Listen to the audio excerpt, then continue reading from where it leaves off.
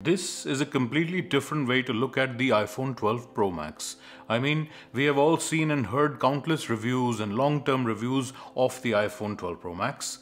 Whenever I have looked at it in the past, I've compared it to other phones like the S21 Ultra and the regular iPhone 12. But today, I want to talk about what it represents in isolation. I mean, yes, it's important to compare it to other phones to know where it stands and how much better or worse it is.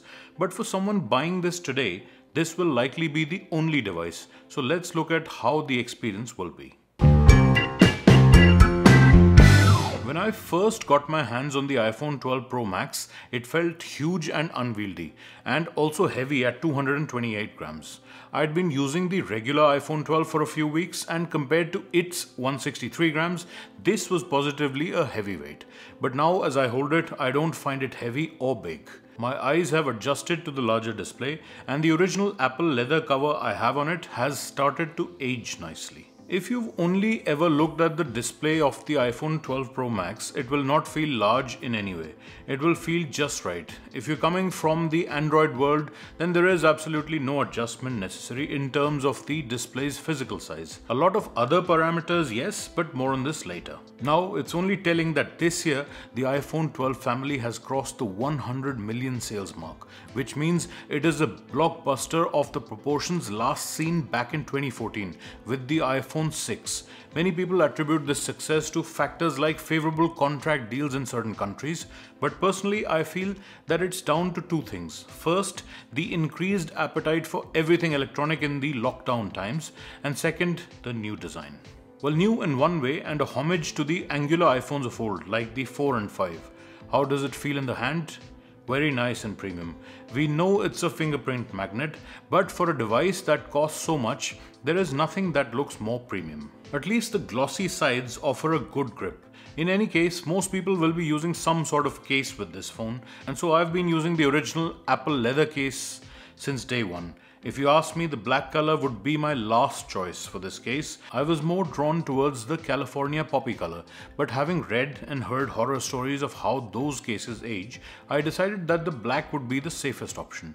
The reason is simple. You can go for any color of the leather case, but underneath it will be black. So once this starts to wear, you will find that the black part shows through. Now that's not a problem with the black case as it simply looks well aged. It adds minimal weight to the iPhone and gives it all-round protection. The feel in hand is much better than the silicone case as well, even though the silicone case is available in more colors. Now it's a sad fact that a USB Type-C connector is nowhere on the horizon even for future iPhones. This is probably the biggest criticism in terms of design and functionality. The USB Type-C port is so useful for every device that it comes on that it makes the iPhone feel at least 5 years behind the times. And Apple is being bullheaded about this. Instead of giving in, they are planning to go completely portless. Back when the iPhone 12 family launched, I was surprised to find that the color science used for this year's iPhones made them look decidedly more yellow than the iPhone 11 series from the year before. I understand that these are warmer displays than the cooler LCD panels of Yo. However, they were a bit too warm for most people's liking. Fortunately, the added brightness of the Pro model makes them appear a little less yellow and this problem is not as glaring as with the regular 12. Everything else about the display is superb.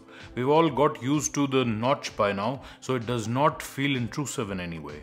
There are plans to reduce its size in the next gen iPhones, so that's still a welcome move. The display is rich, vibrant and fairly power efficient in combination with the A14 chip.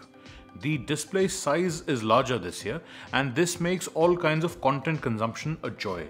Not only does Netflix or YouTube videos look superb on the screen with perfect blacks, but you can do a lot of reading on the screen as well. It fits a lot of vertical content or alternatively you can have the text sizes a bit bigger if your eyesight is less than perfect. In any case, as we go through the years and our reliance on technology keeps on increasing, we keep gravitating towards bigger screens.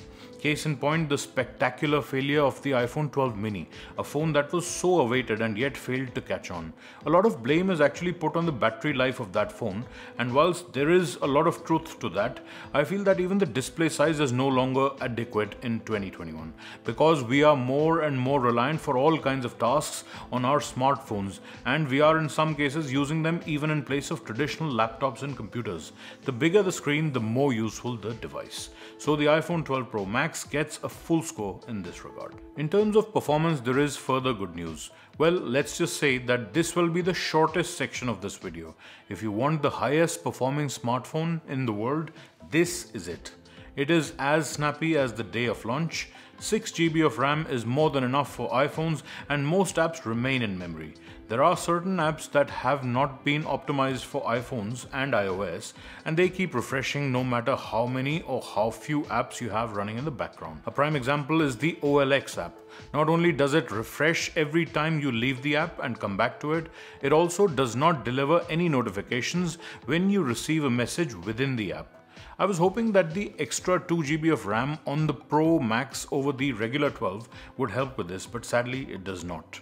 But I would not blame the phone for this, rather the app's developers need to work on this to find a fix. It's almost pointless trying to even show you how quickly and smoothly apps open and switch between each other.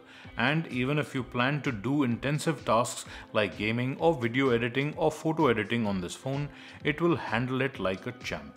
This is the current performance champion in the smartphone world, at least till September when the iPhone 12s or 13 launches.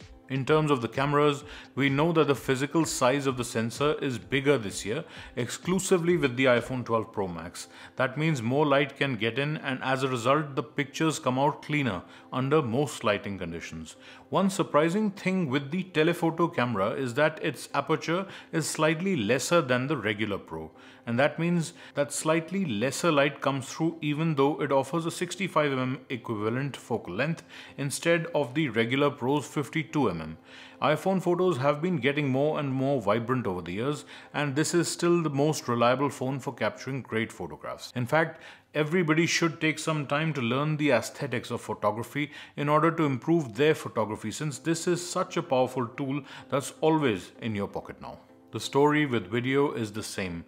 Excellent crisp video quality, especially with 4K 60p video which allows for smooth panning. The optical image stabilization is also very very good. I found this to be a lot better than the S21 Ultra in this regard. Whilst we won't go into a comparison here, I can safely say that this is one of the best camera experiences you can get on the market. Now a little bit about the LiDAR scanner. I found it to be surprisingly useful. It certainly helps in low light conditions with nighttime photography, but if you've ever had the need to measure any distance or dimension, this is a really handy tool to have in your pocket. I've even made some rudimentary floor plans using an app called Magic Plan and it was surprisingly easy to construct 2D and 3D floor plans with it. If you have a Pro iPhone 12 or Pro Max or have not yet tried this feature, I suggest you definitely give this a try. When I was doing a long-term review of the regular iPhone 12, links in the description if you're interested, I listed the battery life as the main reason for wanting to upgrade to the iPhone 12 Pro Max the next time around. And that is what I did. And I've never looked back since. Using two SIM cards and getting more than 7 hours of on-screen time, I have never managed to exhaust the battery of this phone during one day. That means starting the day at 6 am and even by 11 pm the phone would still have at least 20% of its battery left and by using the low power mode a few extra hours were guaranteed. That means the battery life of this phone is excellent. It will and that is in capital letters. It will get you through a full day no matter how intense your usage may be. Once again, a perfect score. It's beginning to sound like a theme now, but audio is again a very strong aspect of the iPhone 12 Pro Max. This is again an area where you see a major difference from smaller iPhones and even in noisy environments it is easy to hear the loudspeakers and it makes for a very enjoyable experience watching videos and movies on this phone. iPhones have always excelled at music through headphones and the drivers remain similarly strong here. Although I don't use the AirPods, I use the Jabra Elite Active 65T Bluetooth earphones and they sound very good with the iPhone 12 Pro Max and the connection is stable and reliable. Now let's talk a little bit about the core functionality of the smartphone being a phone in the first place. The basics are all good, so the call quality, the signal strength, and the clarity of the voice coming through the speakers, through the earpiece, and the microphone is all good. Where the iPhone loses out, and it's not just the iPhone 12 Pro Max, but the entire iPhone lineup is how dumbed down the phone functions feel in 2021. For example, if you have two different SIM cards in your phone, you do not have the simple ability to assign a different ringtone to each number. Also, when using the keypad to dial a number, it does not offer two dial buttons to choose between SIM cards easily. And then we have Truecaller and the lack of access to the CallKit API and as a result the live caller ID feature of Truecaller works sporadically and mostly not. The story is similar with messages, although some work has been done in this area, and there are now spam filters available, but the lack of ability to change the SMS handling application means that you cannot use excellent apps like the Microsoft SMS Organizer that can not only sort messages effectively but also show you a separate finance section for all your bank accounts and credit cards. Some of this may not ring a bell with people who have always used iPhones, but for people who have used Android phones, this will seem surprising and and almost inexcusable in today's day and age. But I feel that it's important to mention this for anyone considering one of these phones and being surprised that phones costing probably 20 times less than this offer more functionality in terms of the core phone function and we're not even getting into call recording functionality here. That is something that has never been possible with the iPhone without a jailbreak and it still remains true. We're starting to see leaks and rumors about the upcoming iPhones in September. The good news is that there are no delays this year and we will see a launch in September for sure.